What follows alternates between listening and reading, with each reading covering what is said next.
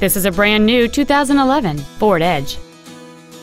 It has a 3.5 liter six cylinder engine and a six speed automatic transmission. Its top features include memory settings for the side view mirrors, heated front seats, cruise control, 12 strategically positioned speakers, leather seats, 18 inch wheels, a security system, a low tire pressure indicator, heated side view mirrors, and a rear spoiler. Contact us today and schedule your opportunity to see this vehicle in person. Helfman Ford is dedicated to doing everything possible to ensure that the experience you have selecting your next vehicle is as pleasant as possible.